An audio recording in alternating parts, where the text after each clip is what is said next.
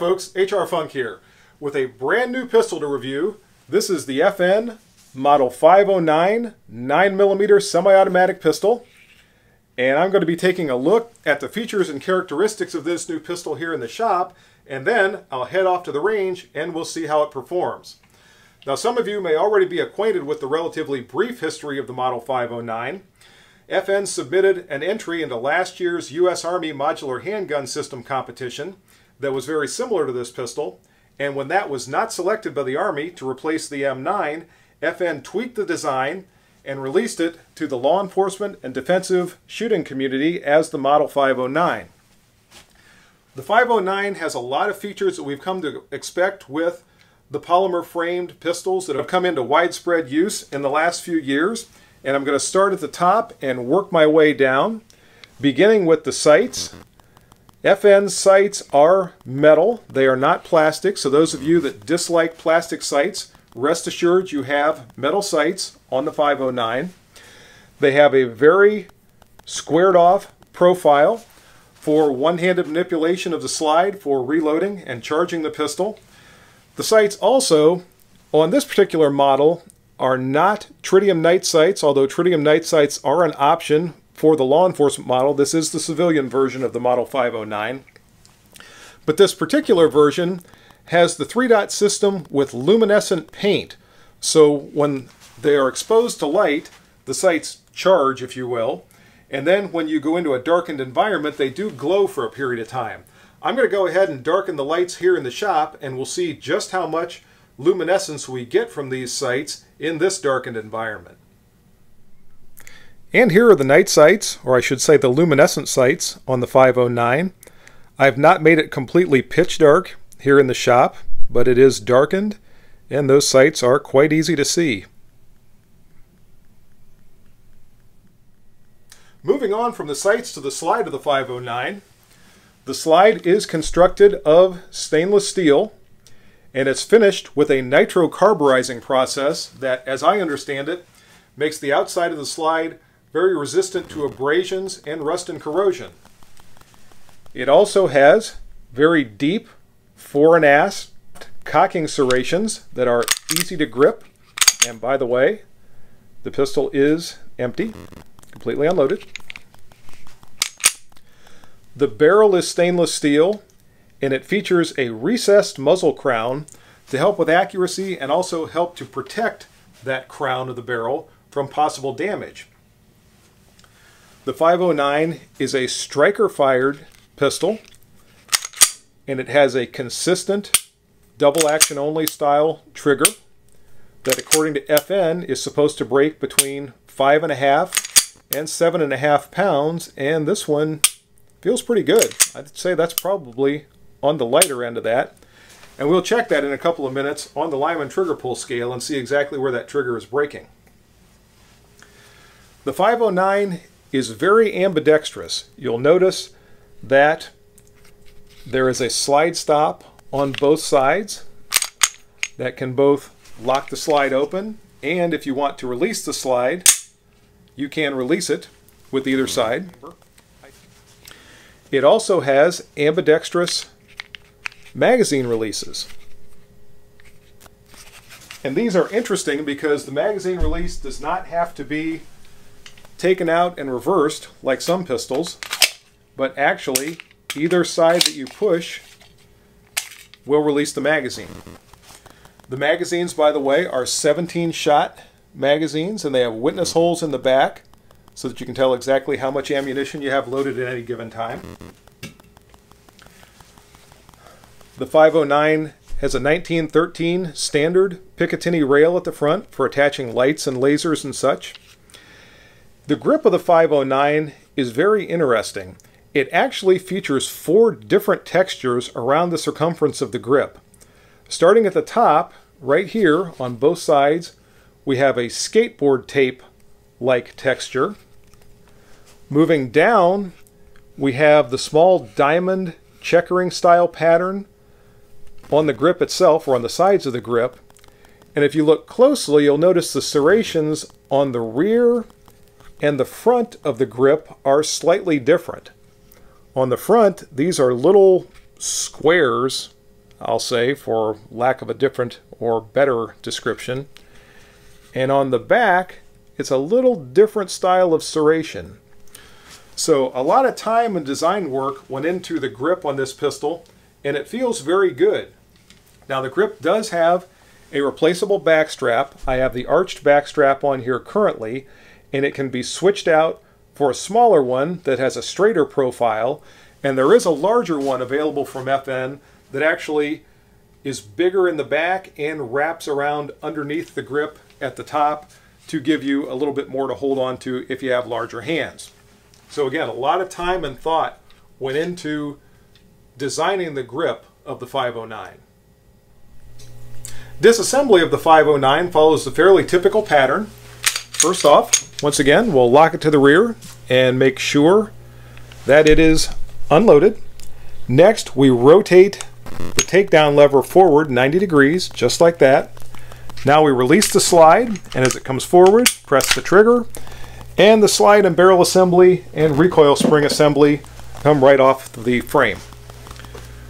At this point, you can remove the recoil spring, and the 509 does have a dual recoil spring system to give you a long spring life.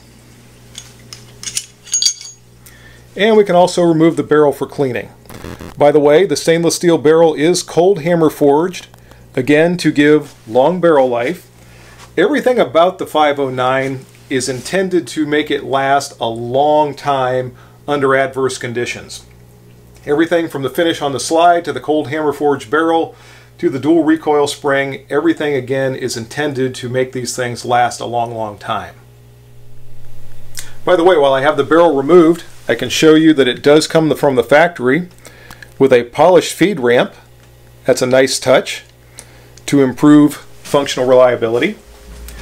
When we reassemble the 509, it's in reverse order. Barrel goes in first,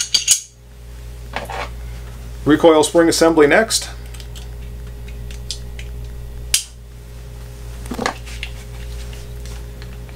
Slide the slide onto the frame. Rotate the takedown lever back up. And the pistol is reassembled just that fast. According to FN, the 509 has an overall length of 7.4 inches, a height of 5.56 inches and a thickness or a width of 1.35 inches. Now I should point out that width really is right here at the ambidextrous slide stop which does project just a little bit from the sides of the frame and slide. Other than that, the pistol is a little bit slimmer. The pistol weighs 26.9 ounces unloaded and the barrel length is 4 inches. And it's time to test the trigger on the 509 with my Lyman trigger pull scale, and we'll see exactly where it's breaking.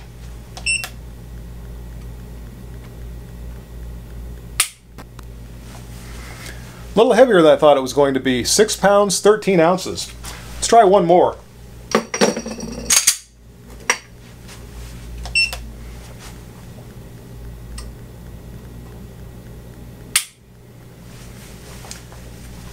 Six pounds nine ounces that time. So it's weighing or measuring heavier than it feels. I really thought it was going to be closer to the five and a half pound part of FN's trigger pull weight spectrum. The trigger is an articulated trigger, similar to the Smith & Wesson M&P. The bottom half of the trigger does articulate to move a drop safety out of the way before the trigger can fire. It does have a striker block safety, that drop safety, as well as at least two more passive safeties inside of here to ensure that the pistol will only fire when the trigger is pulled all the way to the rear. The 509, according to FN, ostensibly has a loaded chamber indicator. And it's built into the external extractor. And if you'll notice currently, the rear portion of the extractor is flush with the side of the slide and there's no coloration of any kind that can be seen. When a round is loaded into the chamber, and this is a dummy round by the way, the rear of the extractor rotates in slightly, and if you look very closely, you can see a sliver of red paint there. I'm going to try to reposition my light a little bit and see if you can see that better. Just a little bit of red paint right there. And also the rear portion of the extractor is now rotated slightly inward. And if you feel very carefully, you can feel that. And that is the loaded chamber indicator on the 509. I've seen this kind of system before, and I have to tell you, it's not very effective. That's probably the one part of this design, or the one part of this pistol's design rather, that I think was not very well thought out and could have been done much better. FN boasts that over a million rounds were fired during the development of the Model 509. And in the end, I think they came up with a very businesslike, no frills 9mm service pistol. I'll be very interested to see how the 509 performs when we get out to the range. And in fact, I don't see any reason to delay that any longer. So let's head out there now and see how it does. And as you can see, we've arrived out on the range to put the Model 509 through its paces. What I'm going to do in a couple of minutes is start through my standard handgun testing battery. I'll start out with an accuracy test from 30 feet, then I'll move into some more defensive drills, and before it's all said and done, we'll give the Model 509 a good wringing out and see how it performs. The ammunition for today's test are going to be two different kinds of 115 grain full metal jacket ammunition. I've got some Browning FMJs and also some Blazer brass. And I'm set up and ready for that first 30 foot accuracy drill with the 509. Let's see how it does.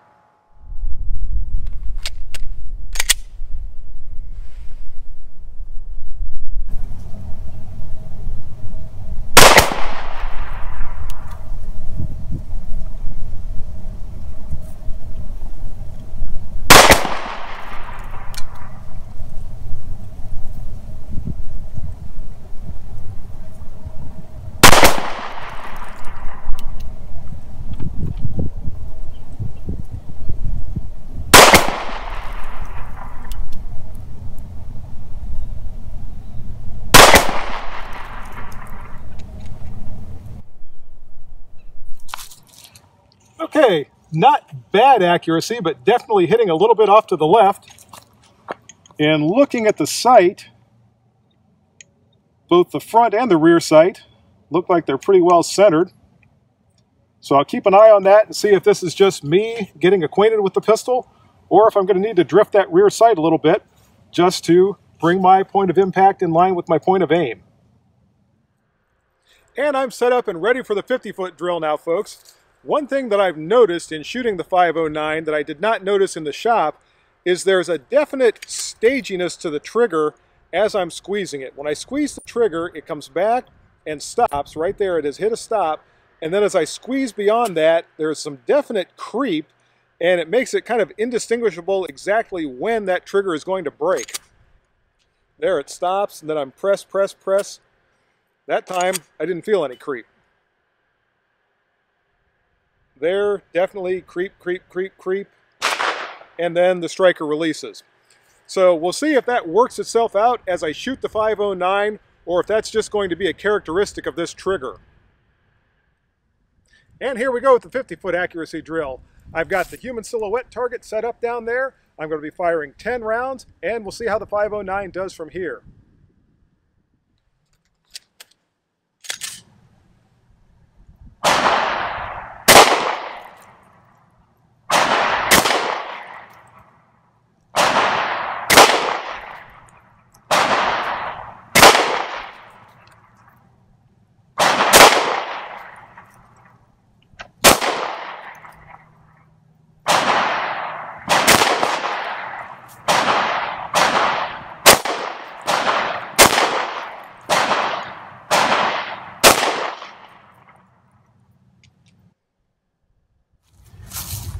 And all 10 of the shots stayed in the chest area. The group is a little bigger than I'd like to see. And again, that trigger continues to kind of throw me off a little bit. You might have noticed there toward the end, shot number seven or eight, somewhere around there, went off pretty quickly. I wasn't ready for that, and it was because I had gotten used to where I thought the trigger was breaking, and all of a sudden as I started to apply pressure at that time, all of a sudden the trigger went when I wasn't expecting it to. Now it stayed in with the rest of the group, but again, that's concerning me just a little bit as I shoot the 509, and I'm hoping that that works out as I shoot it more. All right, folks, I'm going to try some failure drills from 20 feet. I'll be firing two shots to the body, one shot to the head in rapid succession, and I want to see here with this faster trigger manipulation if I'm still noticing that kind of quirkiness from the trigger or if I don't notice it so much when I speed up the shot tempo.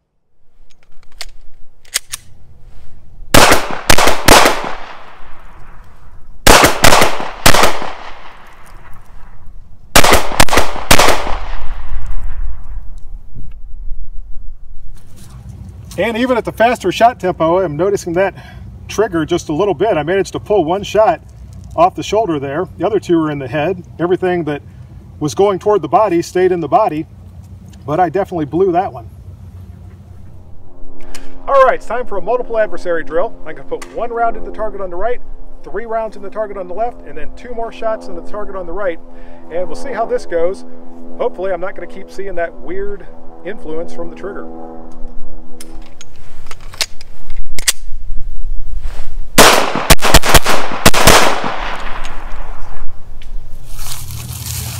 And that felt a little bit better. At least all the shots stayed where they were supposed to. These are a little bit farther off to the left than I would like them to see.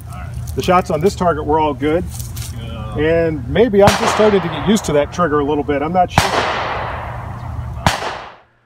Okay, folks, as you can see, the water bottle desperados are back again.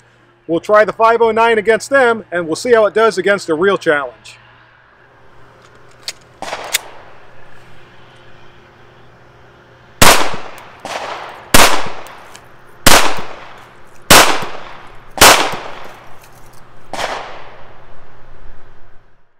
And I managed to defeat the Desperados with the 509, but it was not nearly as decisive a victory as some of the past ones have been. Here we go, folks. We're going to find out if the 509 is a 20-foot tack driver. I've got three rounds loaded in the magazine, the thumbtack is on the target, and we'll see how it does.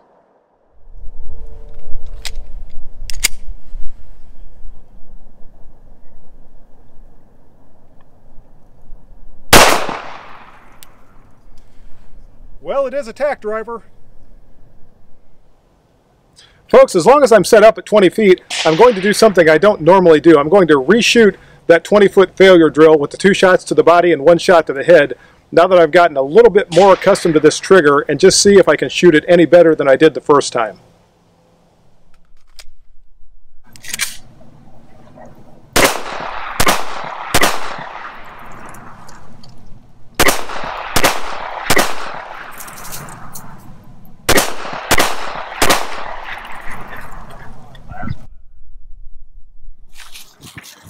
Okay, all nine shots stayed on the target that time, but as you notice, the shot tempo was slower. I'm actually having to concentrate on my sights and my trigger press to make sure, and I almost pulled that first one off, uh, to make sure that they stay on the target. So it's not as instinctive as a lot of the other pistols that I've fired. All right, folks, I'm going to stay out here and do a little bit more shooting with the 509. Then I'll head back to the shop for some final thoughts. And here we are back in the shop, folks. And I've got to tell you, the ending that I'm about to record to this video is not at all the ending that I expected to be recording. I expected that when I finished shooting the 509, I was going to come back and tell you how well it performed and how much I liked shooting it. And there are a lot of things about it that I do like. I like how well it points, I like the luminescent sights, I like the ambidextrous nature of the pistol, but the thing that I really don't like is the trigger and that trigger really detracts from the entire shooting experience. The trigger I could best describe as stagey and inconsistent, and really when I shoot it, I have to very much concentrate on my sights and on my trigger squeeze to make sure I fire accurate shots. And in a defensive pistol, I don't want to concentrate that much. I want to obtain a flash sight picture, press the trigger, and have the bullet strike reasonably close to where I'm aiming. Just as when I was shooting at the water bottle Desperados, I shot probably five or six shots at those particular Desperados before I got all three of them, and those weren't even really good hits. And normally, I don't have nearly that much trouble. If you've seen my other videos, you know that I typically get them a lot quicker and easier than that. But with the 509, largely because of that trigger, I did have that problem. Now, I don't think there's a problem with the mechanical accuracy of the 509, and when I really concentrate on my sights and on my trigger squeeze, just like with the thumbtack shot, I hit that the first time, so there's not really any, any inherent problem with the mechanical accuracy of the pistol. It's all in that trigger squeeze when you're trying to do it quickly and get accurate shots on target. So in the end, unfortunately, I really don't think I can recommend the 509 for purchase. Now it could be that I just got a lemon and FN is a very reputable manufacturer. Maybe if I got a hold of them and sent the pistol back, they could do something. Um, and maybe with enough shooting, if I put several hundred more rounds through it, that trigger would even out and some of that staginess and inconsistency would go away. But I don't know that I'm going to have it that long. I have too many other pistols that I'm able to shoot well that I don't think I'm going to keep this one around just in the hopes that it's going to work itself out. Now, one positive comment I should make before I go is on the reliability of the pistol. I shot about 100 rounds through this pistol out at the range and it ran through them without a hitch and that was even without being lubed. I intended to lube and clean this pistol before I took it out to the range and I forgot. Even so, it ran through those 100 rounds without any problem whatsoever. So it's a very reliable pistol, at least as far as I can determine through 100 rounds worth of shooting. But again, my big complaint about it is the lack of practical accuracy because of that poor trigger. So that's my review on the 509. I hope you enjoyed it. If you have any questions or comments, as always, share those with me. If you're not a subscriber, please subscribe. If you are a subscriber, make sure you hit that bell icon up at the top of the screen, and that way you'll get updates whenever I post a new video and you'll know that there's something new up there to watch. So once again, thanks for watching my video review of the 509. I hope you enjoyed it, and until next time, good shooting. Bye-bye.